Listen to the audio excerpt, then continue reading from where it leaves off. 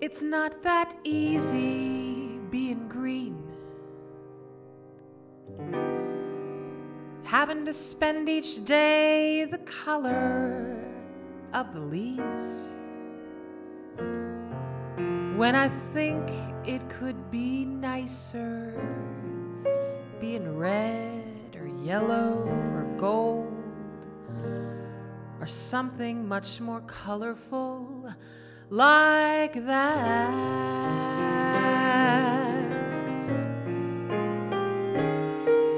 It's not that easy being green.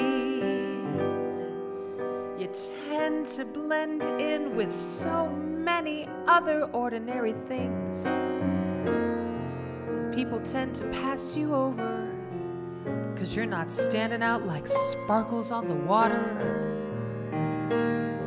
stars in the sky. Green is the color of spring, and green can be cool and friendly like. And green can be big like a mountain or important like a river or tall like a tree. But if green is all there is to be, it could make you wonder why. But why wonder?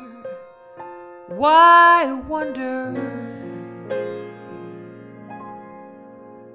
I am green, and it's beautiful, and it's important, and I think it's what I want to be.